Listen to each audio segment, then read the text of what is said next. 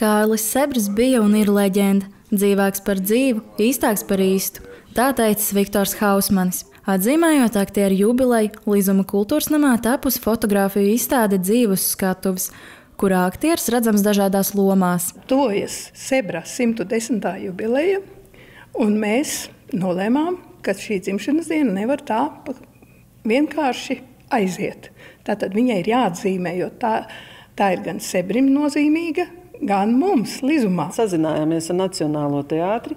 Viņi mums labprāt palīdzēja, eh, palūdza mums, no kurām izrādēm mēs vēlamies fotografijas. Mēs nosūtījām savu lūgumu, un viņi mums atsūtīja eh, tad, eh, šos te, fotografiju paraudziņus, un mēs savukārt atkal pēc tam izvēlējāmies kādus tad mēs, nu, kuras mums varētu derēt šai izstādē. Aktieris, kurš zināms daudziem, dzimis Sinolē, no četru gadu vecuma dzīvojis Līzuma pagasta Jēricās. Kārlis Sebris ar lielu cieņu izturējies pret savas puses ļaudīm, teikdams, kad es izdzirdu savas dzimtās puses valodu, es katru tās runātāju vēlos samīļot. Tā jau grūti par Sebri ir ļoti daudz grūti runāt, tāpēc, ka it kā tā jau ir vēsture.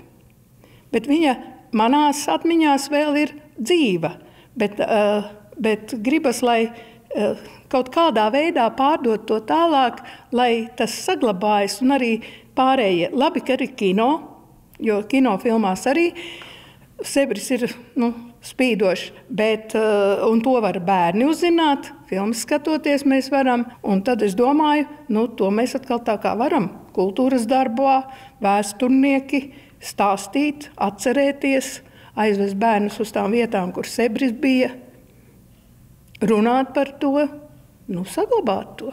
Kārlim Sebrim tuvāk par kino bijusi teātris spēle, jo tā uz skatuves ļāvusi piedzīvot dzīvo vārdu un tā sastapšanos ar skatītāju. Tādēļ amatieru teātru kolektīvi no Līzuma, Tirzas, Lejas ciema, Stradiem, Beļavas un Sasvainas iestudējuši lūgu fragmentus no Kārļa Sebra izrādēm, kas būs skatām teatralizētā pasākumā. 18. februārī, tad, kad Kārlim Sebrim ir dzimšanas diena, tad mums šeit Līzuma kultūras namā būs tematisks pasākums, um, veltīts Kārļa Sebra 110. dzimšanas dienai, dzīvais vārds. Dzimšanas dienā būs gan teātra izrādes, būs pasākums un būs arī izstāde. Un, lai jau sagatavotos dzimšanas dienas svinībām, jau cilvēki var nākt skatīties izstādi. Mums ļoti svarīgi, lai sebra vārds būtu tiešām dzīves. Un lai tas, ko viņš sasniedz ar savu talantu, ar savu darbu, lai tas mums tā kā turpinātos un iedvesmotu arī uz priekšdienām. Tā kā mākslinieka vidusskolas gaitas vedušas uz Cēsvainu, šos svētkus atzīmēs kopā arī ar Cēsvainas ļaudīm. Pirms katras uh, izrādes uh, mēs uh, domājam parādīt kādu no gleznām. Pirmizrāde, kad ir bijusi, viņš ir esot vienmēr iegādājies vienu gleznu. Un tad mēs to gleznu domājam parādīt pirms sāk mūsu amatieru teātri kādu fragmentiņu spēlēt uz, uz skatuves.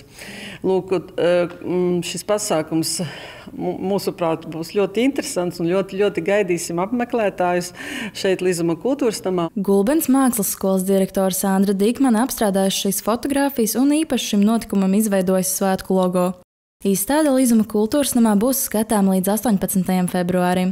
Elisa Ragauša, Gunta Matisona, Reinis Žagariņš, Vidzemes televīzija.